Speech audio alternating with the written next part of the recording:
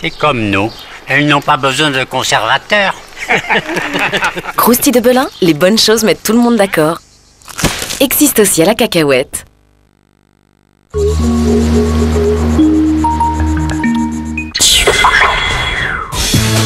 À la main, pas mal. On s'est acharné sur son cou. Et comme par plaisir. hein. Elle est identifiée Est-ce que c'est Alexandra Rodman? Je ne suis pas autorisé à t'en parler. Vous la connaissiez? J'ai déclaré tout ce que je savais. Écoutez, vous, vous n'allez pas croire que je l'ai tué. Je ne sais absolument. Dans la voiture. C'était vous? Tout est possible. D'après la rumeur, ça pourrait être le tueur au dictionnaire. NYPD Blue. Le père de la victime. crois comprendre qu'il s'agit d'un tueur récidiviste. Quel que soit cet homme, je vous donne un million de dollars pour l'abattre. En billets non marqués, tu crois? Chaque nuit apporte son lot de nouveautés. Il n'y a que la paye de Sipovic qui ne change pas. À 23h25 après soir 3. Question pour un champion sur France 3 avec Fruit d'Or Proactive.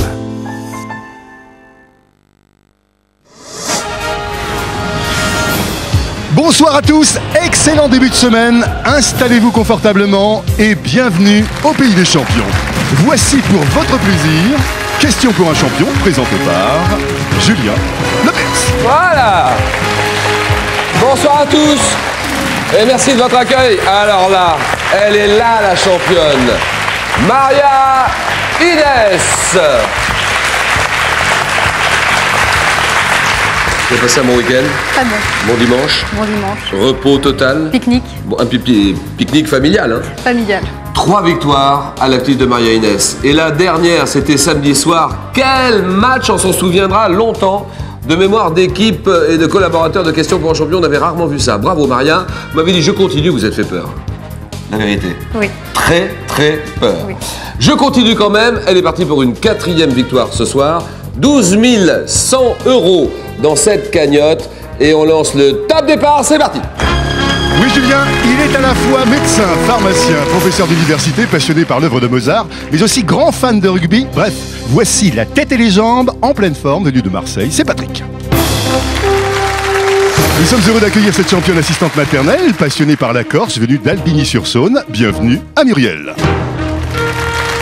Enfin, du pain sur la planche ce soir pour notre champion boulanger en pleine reconversion. Il habite Montfermeil, il est passionné par le monde des abeilles. Nous avons le plaisir d'accueillir Pascal.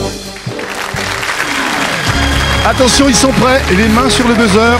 Première épreuve, vous la connaissez, c'est le fameux 9 points. Mes amis, avant de commencer ce jeu, les questions, les réponses, j'ai quelque chose, j'ai un message important à vous faire et c'est une grande nouvelle pour tout le monde, pour tous ceux qui aiment ce jeu et qui le suivent depuis très longtemps. À partir d'aujourd'hui, question pour un champion est diffusée en Amérique du Nord et en Amérique latine. Où que vous soyez dans le monde, vous pouvez désormais suivre votre émission préférée, Question pour un champion, grâce à TV5 Monde, sur les cinq continents à partir d'aujourd'hui. Question du jour. Question du jour, ça c'est pour vous. Nous sommes en 1975. Quelle chanteuse française interprète Téléphone-moi? Comment s'appelle la chanteuse en 75 qui chante Téléphone-moi La réponse au 3245, 500 euros à gagner? Première question. Dans quel type de danse d'origine anglo-saxonne les chaussures ferrées deviennent-elles des, des instruments Maria Inès? Des claquettes Des claquettes, bien sûr. Les chaussures ferrées qui deviennent des instruments de percussion, la danse à claquettes. Sur quelles îles volcaniques de la côte nord-ouest de l'Amérique du Nord parle-t-on la langue baptisée Aléout Patrick? Les Aléoutiennes. Bien sûr. Les îles Aléoutiennes. En 2006, quel écrivain français évoque la maison de ses grands-parents dans Agaronne Agaronne. Patrick? Euh, Labro. Qui? Euh, euh, Philippe Labro. Non. Philippe Labro, ce n'est pas la réponse, Maria. Le Clésio Non, le Clésio non plus. Quel écrivain Muriel Dubois français évoque la maison de ses grands-parents dans Agaronne Cette année 2006. Réponse Philippe Delerme. Donnez-moi cette plante. Comment s'appelle cette plante à très petites fleurs bleues et qui est appelée Muriel Myosotis Ah oui, myosotis, ça c'est bien. Comment appelle-t-on le my- myosotis Habituellement, on l'appelle oreille de souris, le myosotis. Bien joué Muriel, sachant que cette année... Ah oui, tiens, j'aime bien ce genre de questions. Pour vous, pour tout le monde. Et je la pose doucement.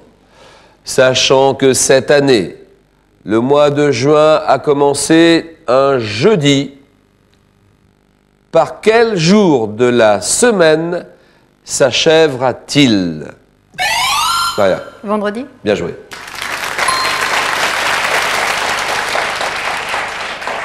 Il y aura cinq jeudis. 1er, 8, 15, 22 et 29. Le mois de juin ne comportant que 30 jours, le 30 sera donc un vendredi. Elle joue bien et on la voit la différence. Elle est là. Maria Inès est à 3 points. Dans la Rome antique, quel long rituel servait à écarter les morts, grincheux et terrifiant Pascal. Muriel. Les bacchanales? Non. Quel long rituel servait à écarter les morts grincheux et terrifiants. Les lémuries. Lémuries en latin, lémuria. Dans le nord de la France, et vous l'avez, ce légume. Avec quel légume appelé localement porion Prépare-t-on la tarte salée, appelée flamiche, Maria L'endive Non, non, non, non, non, non, non, là ici. Le poireau Poireau, très bien. Cette année 2006, un ténor, vous l'avez, ce ténor espagnol qui interprète des chants, Patrick Alanien. Non, qui interprète des chants napolitains dans l'album Italia Ti Amo. Donnez-moi des noms, allez-y, vous l'avez sûr Oh là, je suis pas d'accord avec vous, là, franchement. Moi, je dis Placido. Ah, Domingo. Placido Domingo. En juin 2005, quel grand espoir de la gymnastique féminine française est devenue championne d'Europe aux barres asymétriques un an après son titre olympique Grand espoir. Gymnastique française ou gymnastique féminine française Émilie Le Pennec. En 1946, quel film de René Clément a pour thème la résistance des cheminots? Vous là-bas, Maria? La bataille du rail Bataille du rail, très bien. Donnez-moi ce poisson, Patrick, Pascal, un poisson de la famille des scombridés, qui a le dos bleu-vert, zébré de noir. Et vous l'avez celui-là, oui, Patrick Le merlan. Merlan, c'est non. Muriel Le hareng C'est non. Allons-y, Maria. Pascal Le macro. Un conspirateur français. Quel est ce conspirateur français? Né à Kerleano, près d'Oré, qui a participé à la guerre de Vendée et qui fut un des chefs des Chouans. Réponse? Chevalier Déon Non. Réponse, Muriel Cadoudal. Georges Cadoudal. Un proverbe maintenant. Alors, selon quel proverbe le but excuserait-il les actions coupables commises pour l'atteindre Maria Inès? La fin justifie les moyens? Bien joué.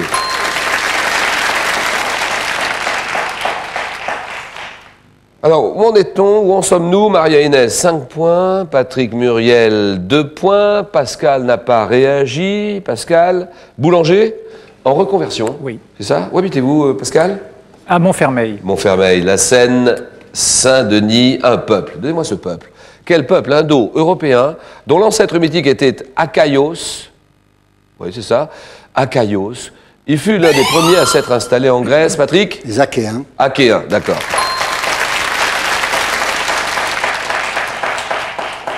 Chez l'homme, quelle languette cartilagineuse? Ferme l'orifice. Maria L'épiglotte Épiglotte, exactement. Ça, fallait le trouver, ça. Et c'est là où elle fait la différence, Maria. Après, on s'étonne. Mais elle est là, elle bosse, elle travaille sur chaque question. Quelle languette cartilagineuse ferme l'orifice supérieur du larynx au moment de la déglutition? C'est l'épiglotte. Bien joué, Maria se détache, 8 points. Donnez-moi cet appareil optique. Quel appareil optique? Est formé d'un tube au fond duquel se déplacent des fragments de verre de couleur. Oui, Pascal. Kaléidoscope. Oui, très bien. Premier point. Quel est ce pays d'Asie qui abrite la ville de Luang Prabang Célèbre, Patrick. Le Laos. Le Laos, d'accord. Quel flanc au pruneau est originaire de la région de Bretagne? Oui, Maria. Le phare. Le phare, c'est terminé. Gagné Voilà, Maria Inès est la première à arriver à 9 points, plus que 3 candidats pour 2 places. Première question. Quel est cet art martial brésilien qui se présente, Muriel? Capoeira. Vous dites? La capoeira. La capoeira, d'accord. Elle se présente comme une danse rituelle, c'est la capoeira. Muriel, 4 points, ça y est, elle démarre bien. En 95, quel est cet acteur qui incarne un écrivain raté vivant aux côtés de Guillaume Depardieu dans la comédie des apprentis de Pierre Salvadori? Oui François Cluzet? Oui François Cluzet. Bien, Pascal. oui, ça arrive du diable Vauvert. Vraiment, elle était très loin, cette réponse. Bien joué, 4 points. En France, quel adjectif qualifie traditionnellement les derniers rois mérovingiens Oui, là-bas. Fainéant. Fainéant, d'accord. Patrick, nettement en tête.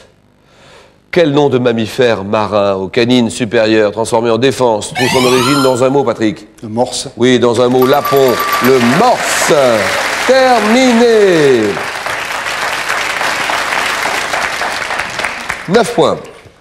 De quel hebdomadaire de télévision, toujours en activité, le premier numéro est-il sorti en kiosque le 26 mars 1960 26 mars 60 Euh, Télé 7 jours? Oui, Télé 7 jours, ça c'est bon.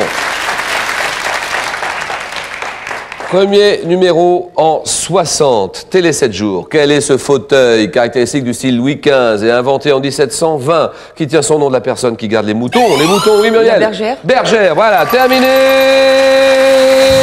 Gagné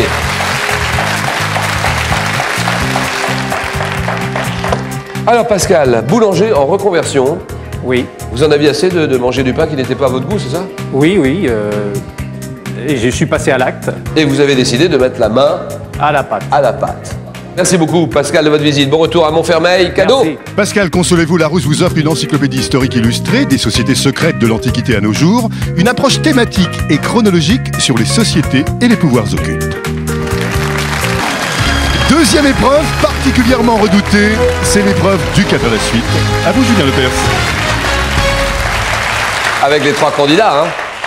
Comment allez-vous Maria Maria Inès, tout va bien ce soir? Ça va On y va, voici les quatre questionnaires. Il faut choisir entre les singes au cinéma.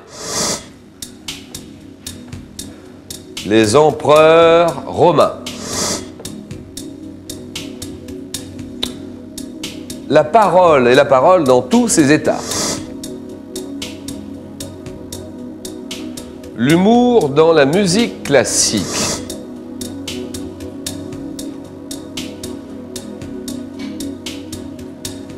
Maria Inès pour une quatrième victoire ce soir. Le match à ne pas perdre. La parole dans tous ses états. La parole dans tous ses états. D'accord. Maria Inès, trois enfants. Camille, Victoria, Gabriel. Oui, je les Le embrasse. petit Gabriel qui a six mois à peine. Orthophoniste, vous êtes à orthophoniste à Orly. Choisy-le-Roi. Vous habitez Choisy-le-Roi. J'habite Choisy-le-Roi. Un petit coucou au neveu Alexis et Alexis qui a 15 ans, Ryan qui a 9 mois et euh, je les embrasse tous les deux très fort. Maria Inès. Le jeu tout de suite si vous êtes d'accord. On y va. Chronomètre.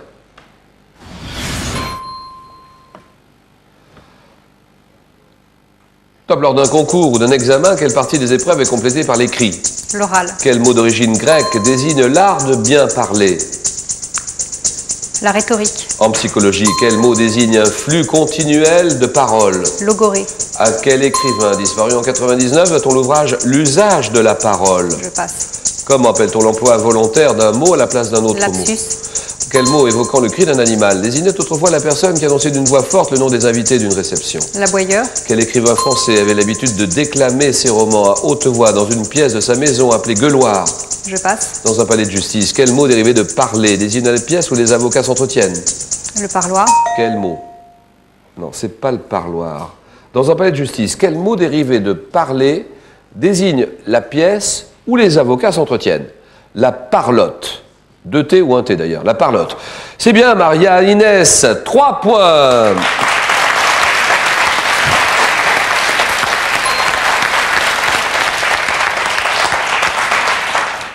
Quel écrivain français qui avait l'habitude, avait l'habitude de déclamer ses romans à haute voix dans une pièce de sa maison appelée Gueuloir? C'est Flaubert. Gustave Flaubert.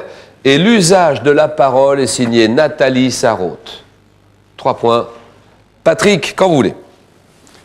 Je vais choisir les empereurs romains. Les empereurs romains, bien sûr. Patrick, biologiste, d'abord trois enfants et six petits-enfants. Toute une belle famille. Christiane est là ou pas? Oui. Qui est Christiane? C'est ma compagne. On l'embrasse très fort, enfin surtout Ah oui. vous. hein. Vous êtes biologiste et enseignant en botanique à la faculté de Marseille. Vous habitez Marseille, bien sûr.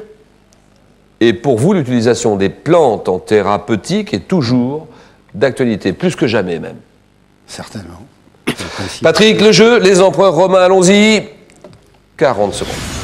D'abord 68, quel empereur, réputé pour son despotisme, se suicide après avoir été déclaré Néron. ennemi public par le Sénat, vous dites? Néron. En 27 avant notre ère, quel petit-neveu de César devient le premier empereur romain? Auguste. Quel empereur, ayant régné de 161 à 180, a exposé ses réflexions philosophiques dans ses pensées?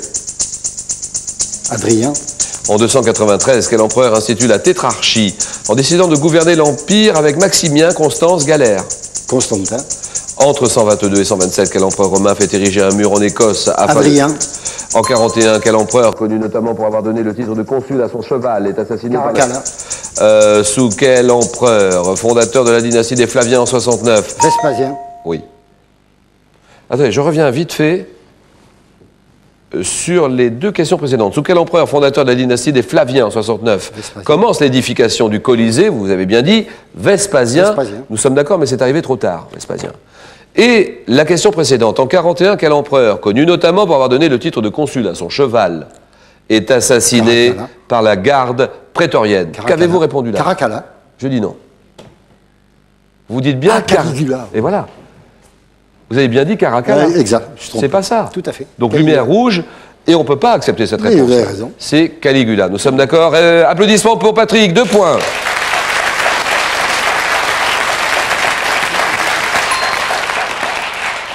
Empereur romain qui fait ériger un mur en Écosse afin de consolider les frontières de l'Empire. Adrien, vous avez raison. Ensuite, là, on n'a pas les bonnes réponses.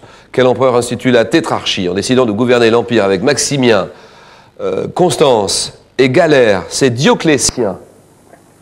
Quel empereur ayant régné de 161 à 180 a exposé ses réflexions philosophiques dans ses pensées? Marc Aurèle. Marc Aurèle, vous l'aviez. Marc Aurèle, deux points. Muriel, quand vous voulez.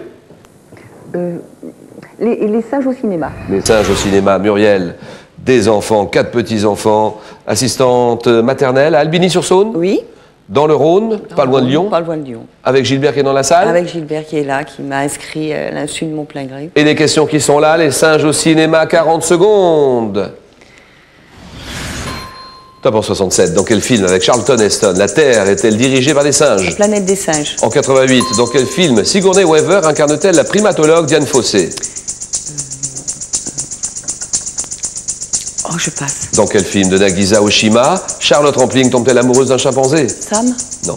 En 99, dans quel dessin animé de Jean-François Laguioni un jeune singe devient-il le favori du roi des Lancos Je passe. En 2005, dans quel remake de Peter Jackson Naomi Watts est-elle enlevée par des indigènes et offerte en sacrifice à un gorille géant King Kong. Dans quel film Doug Hudson Christophe Lambert est-il élevé par des singes dans la jungle africaine Du- du- du- Greystoke. Greystoke. Muriel, vous avez un point.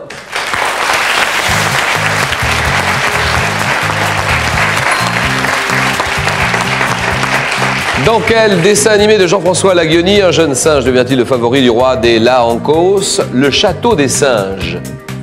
Dans quel film de Oshima Charlotte Rampling tombe-t-elle amoureuse d'un chimpanzé? Max, mon amour 88, dans quel film? Sigourney Weaver incarne-t-elle la primatologue Diane Fossé?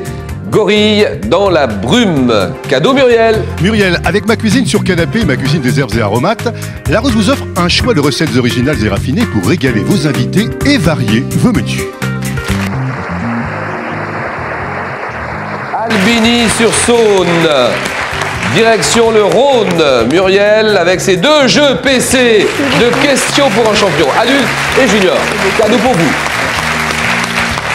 Maria Inès face à Patrick. Et Maria peut-être pour une quatrième victoire.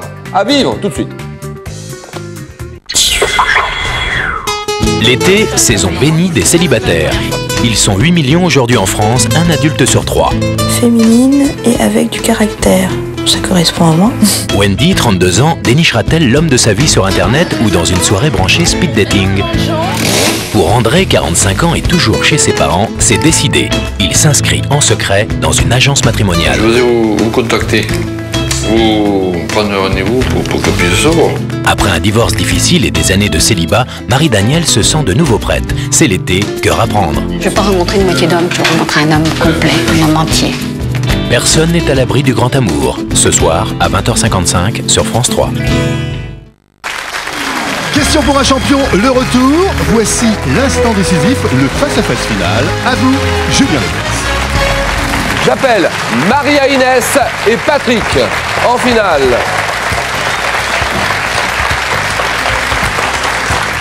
Patrick, biologiste habitant Marseille et Maria Inès, orthophoniste dans le Val-de-Marne. Elle est orthophoniste à Orly.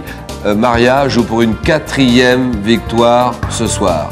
Elle est tranchante, elle est mordante, elle est acérée. Tout est possible avec elle. Voilà un match superbe en perspective. Place au jeu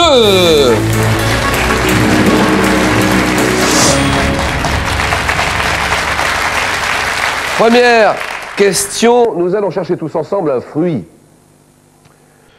Vous n'avez pas la décision, ça sera votre tour tout à l'heure. Patrick, indication, c'est fait. Maria lance le jeu, j'écoute. Je laisse la main.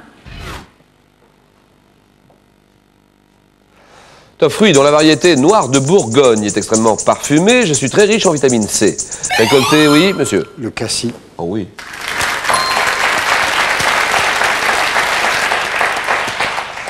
Applaudi par votre concurrente en plus. Très bonne réponse. Qu'est-ce qui vous met sur la voie? C'est noir de Bourgogne? C'est le cassis. Récolté en été, je suis rarement vendu frais comme fruit de table.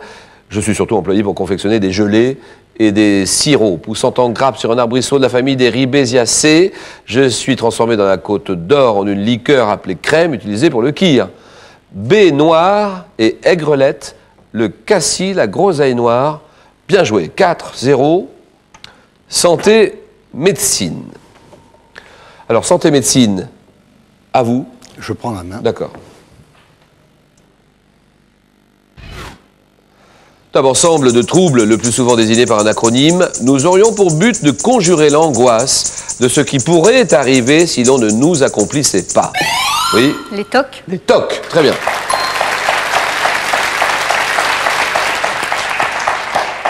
Nous sommes ces névroses. Névroses consistant généralement pour une personne en un besoin impérieux d'effectuer certains rites déterminés.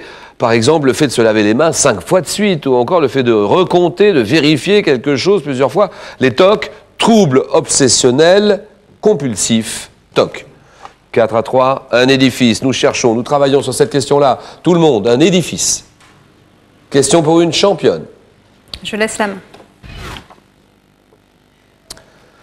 Un édifice situé à Paris. J'ai été élevé par Jacques-Ange Gabriel entre 1751 et 1769 à l'instigation du financier, oui L'opéra, non. Je me trompe. L'opéra de Paris, c'est pas ça. Non, si c'est l'Opéra de Paris, c'est non. Top Paris du Vernet de la marquise de Pompadour, formé d'un pavillon central flanqué de deux ailes basses et décoré de colonnes corinthiennes. De 1777 à 1788, j'accueille l'élite des élèves des 12 collèges militaires de province. Monument de Paris situé dans la perspective du Champ de Mars. Les Invalides. Non.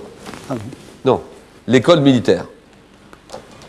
C'était la réponse. L'école militaire. Science. Faites vos jeux, monsieur. Je prends la main.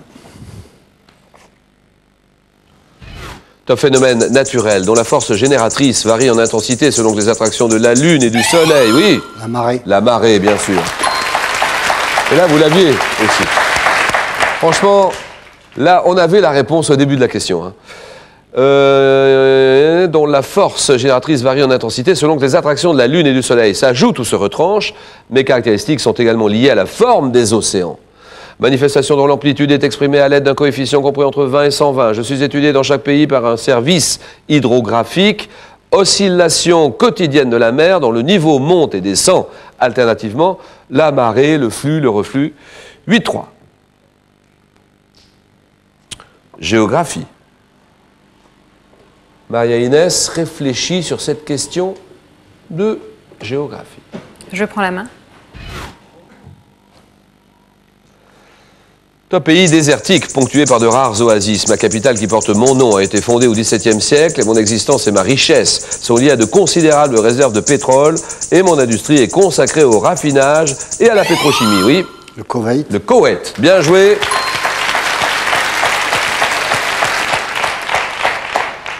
Ayant accédé à l'indépendance en 1961, je suis envahi par l'Irak en août 90, puis libéré à l'issue de la guerre du Golfe.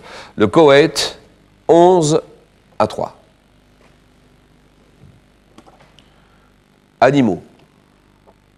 Vous êtes à un point d'une première victoire, Patrick. Mais attention à la peur de gagner. On a fait le plus dur. Au dernier moment, Je laisse la main. Pardon Je laisse. Je laisse la main. je n'en pas. Je laisse la main. Maria Inès part avec la main sur cette question. Animaux. Attention, ça part. Top type d'abri désigné par un mot d'origine gauloise signifiant écorce. Je suis destiné à recevoir des insectes. Autrefois aménagé dans les arbres creux, je suis par la suite fabriqué par l'homme qui m'élabore en osier ou en paille. Petite, oui La ruche. Oui, exactement, la ruche. Terminé et c'est gagné. 14 à 3. Maria Inès, trois victoires. Et là, on n'a pas retrouvé la Maria Inès de samedi soir, par exemple. Là, elle ne s'est pas battue. Vous en Il pas, là, il n'y a rien à faire. Il est fort aussi, hein, c'est vrai, fort. oui. Maria Inès, cadeau. Maria Inès, consolez-vous avec Lyria. Vous partez en TGV pour Genève, accueilli dans un des six hôtels Manotel. Vous profiterez durant un week-end des splendeurs de Genève. C'est bien. Maria, puisque vous aimez voyager, Larousse vous offre quatre livres sur le Maroc, le Canada, le Mexique, l'Égypte. Cadeau pour vous, c'est pas tout.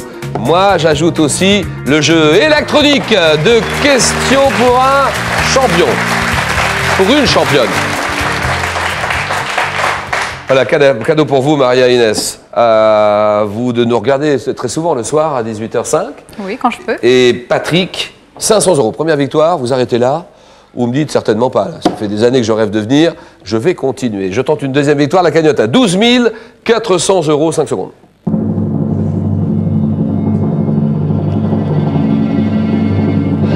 Réponse à la question de samedi, les douves. Alors, le nom du gagnant sur vos écrans de télévision, bien sûr. Et la question du jour, en 1975, quelle chanteuse française interprète Téléphone-moi? À vous de jouer sur le 32 45, 500 euros à gagner. Rendez-vous demain sur la 3, France 3, à 18h05, avec un nouvel épisode de Questions pour un champion. Et avec vous, Patrick, ou pas? Que décidez-vous? Je reste. je reste, voilà. À demain, 18h05 sur la 3. Bonne soirée à tous.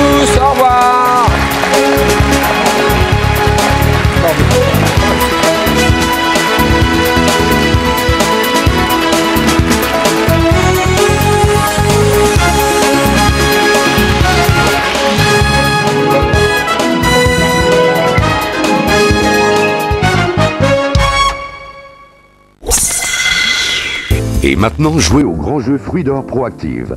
Répondez à la question suivante. Comment s'appelle la première manche de l'émission Appelez vite le 0892 68 10 10 et dites jeu Fruit d'or proactive. Vous gagnerez peut-être des bons d'achat à valoir sur les produits Fruit d'or proactive enrichis en stérols végétaux et un week-end en thalassothérapie. Bonne chance sur France 3 avec Fruit d'or proactive.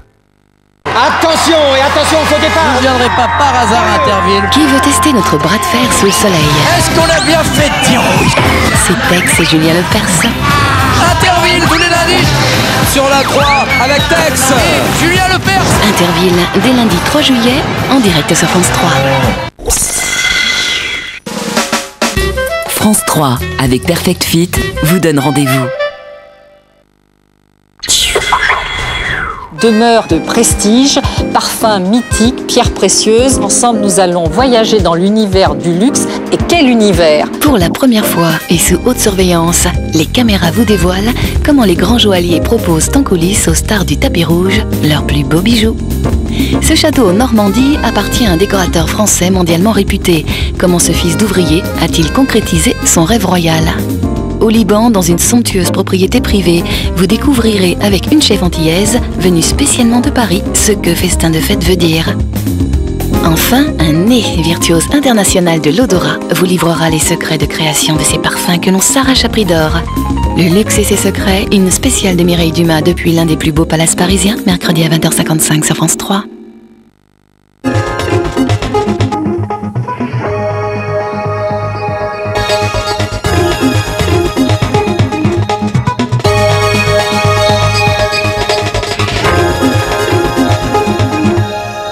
Bonsoir. Dans l'actualité de ce lundi, la mise en examen et l'incarcération du meurtrier présumé de Mathilde, 18 ans, tuée d'un coup de couteau euh, il y a un an alors qu'elle participait à un technival en Bretagne.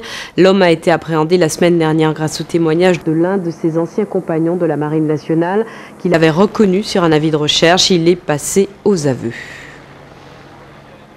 C'est oui, après cinq mois d'une cour assidue, le luxembourgeois Arcelor accepte d'unir son destin à celui du groupe néerlandais Mittal.